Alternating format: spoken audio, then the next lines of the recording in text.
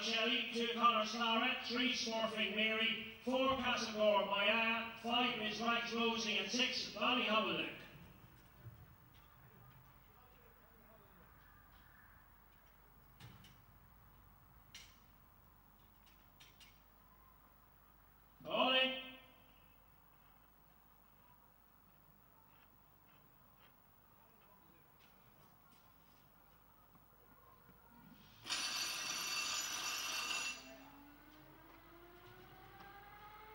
There we go then, our Jerry McCoy birthday 525.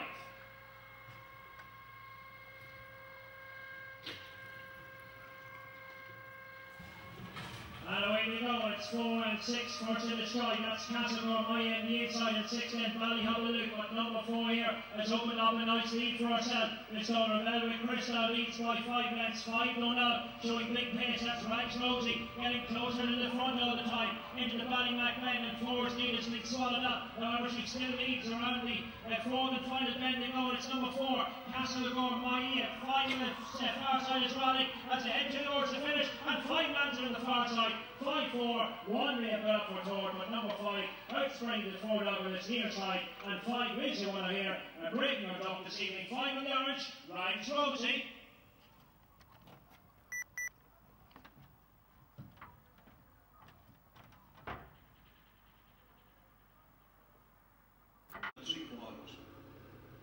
Time 29,